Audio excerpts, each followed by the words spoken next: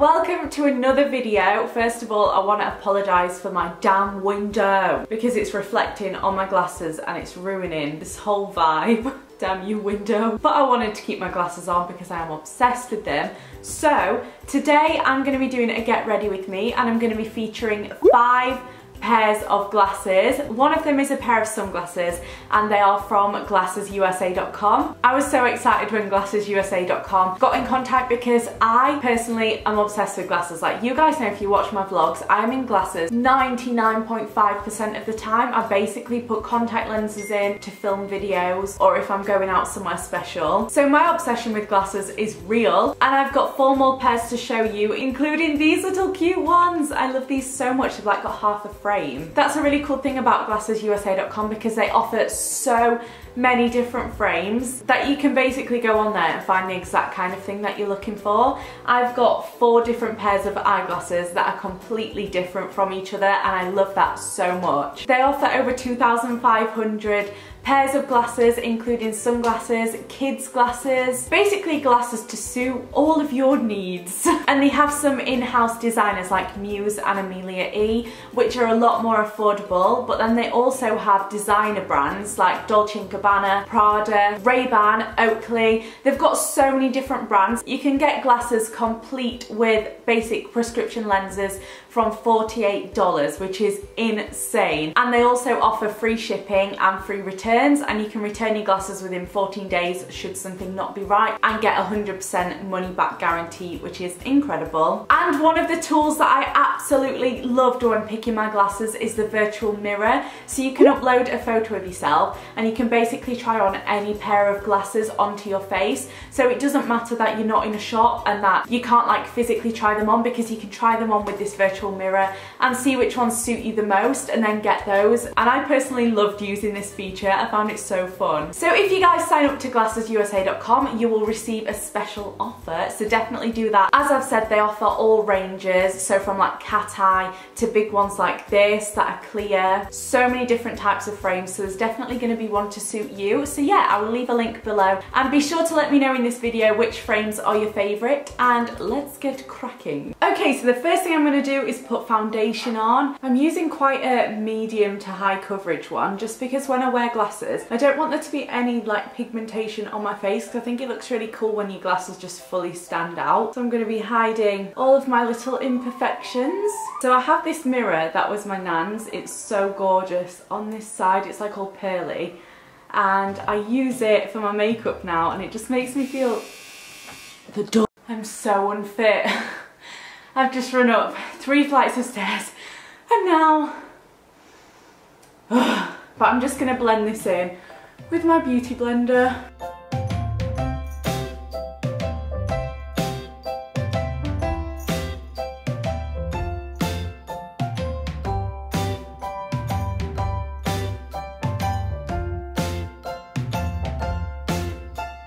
Something that I always do when I get ready and I never talk about is I always take the foundation and concealer off of my eyelids that has gone on it. I don't know how people prime their eyelids with concealer because on me it just creases so bad. So I'll take that off and then I'll kind of like blend it back in where the edge is. And now I'm going to move on to eye primer. I'm just going to prime my eyes before eyeshadow. Let me know in the comments what's the favourite thing that you've done this summer. So now that's blended in, I want everything to be set really well. So I'm just gonna take a powder and I'm gonna take it on my beauty blender or beauty sponge, whatever it's called. And I just pat that under my eye to set it into place. I don't like to bake. I think this method works really, really well. You just take a bit less powder and pat it into your skin and it always sets my under eyes really well. I set around my nose too. So that kind of area.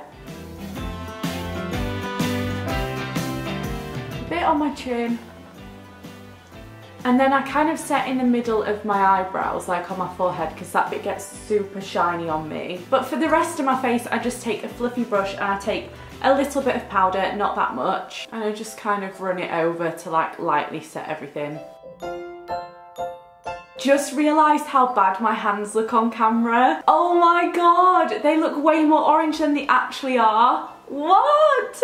They look so patchy as well. Oh, I think I've had a bit of a fake tan disaster because my hands have gone a lot darker. Oh my god. They've gone a lot darker than my face and they've gone super patchy. I'm now going to move on to bronzing because I like to do this before my eyebrows because I kind of bronze up here and if my eyebrows are done it takes the stuff off. So again on this fluffy brush I'm just going to bronze my face up.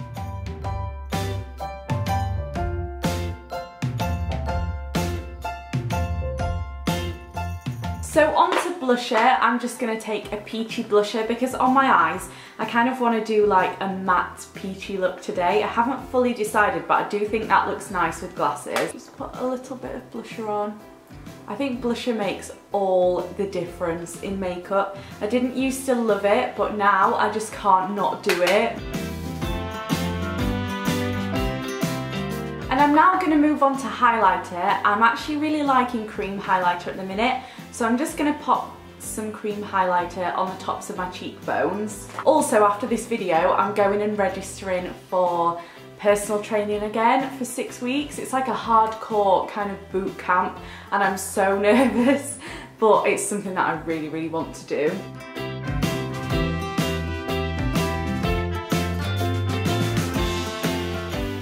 Obviously with having my operation, I was going to the gym before that and then I had my operation and I've had, I've had like five weeks off from it and I was eating so bad as well. I was eating takeaways all the time. So I've put on some weight because when you eat bad, that is what happens, at least to me and a lot of other people. So yeah, I can't wait to just get rid of it. Oh my god, my hands. Oh so pretty. Right guys, it's time for eyebrows. I'm just gonna fill them in and I'm not gonna talk to you while I do this because I find it a little bit stressful and they need to be done so bad. I need to get them waxed and tinted. So they're a little bit tricky to fill in right now. But yeah, let's go.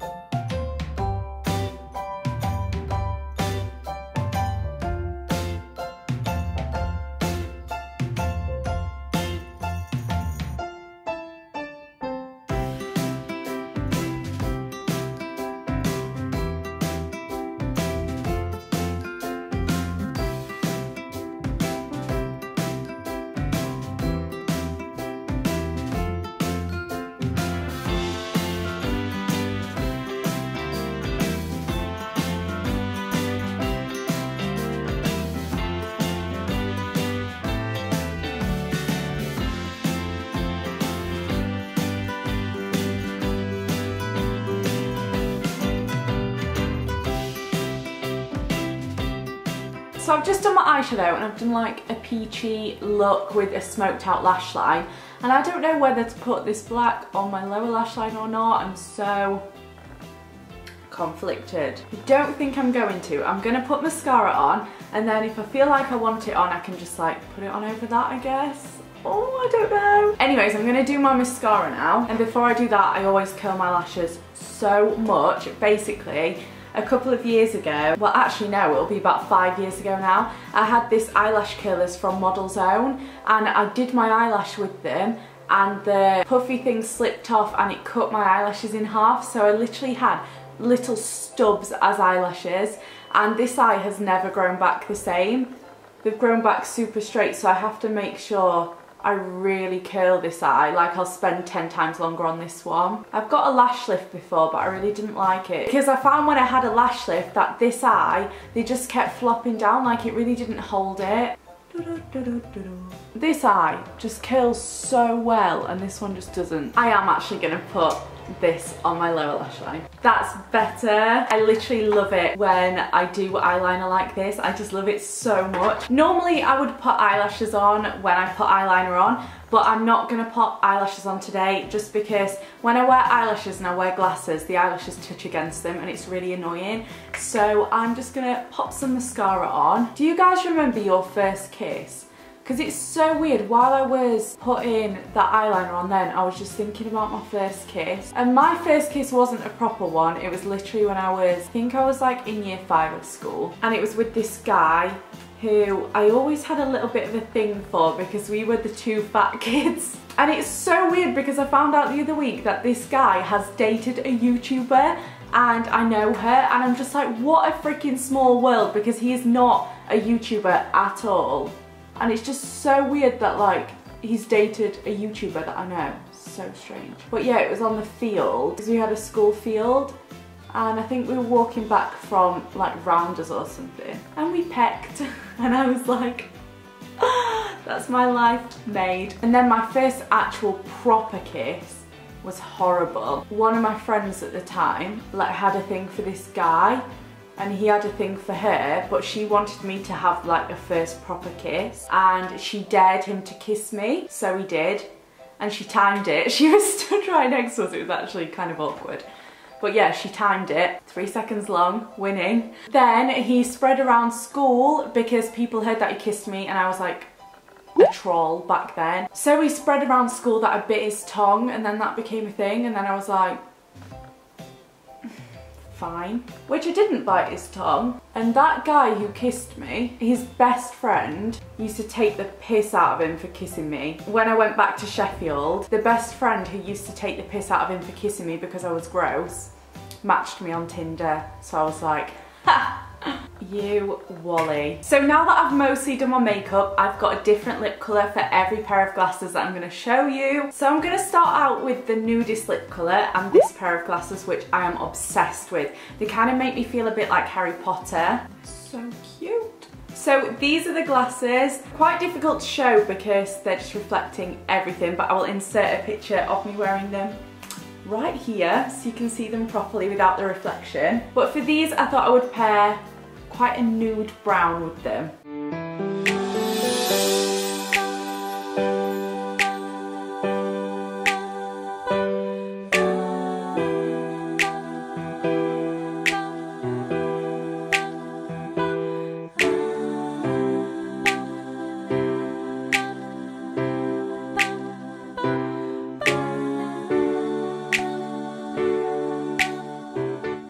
Okay, for the next pair, I'm gonna do something so different, radical. We're gonna do blue.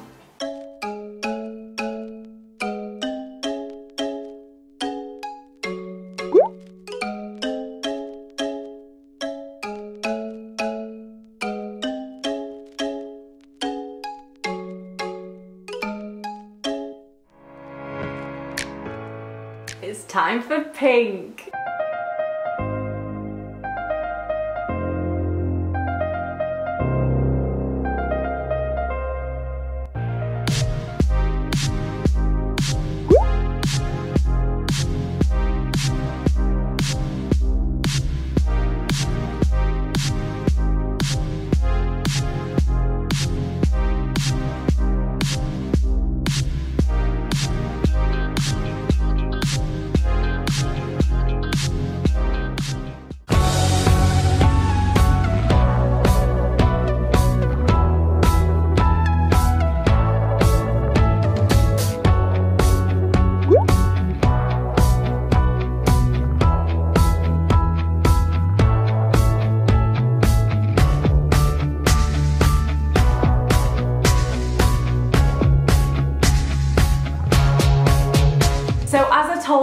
glassesusa.com do sunglasses too. And I have a cheeky pair of them. These are Dolce & Gabbana. Oh, so fancy.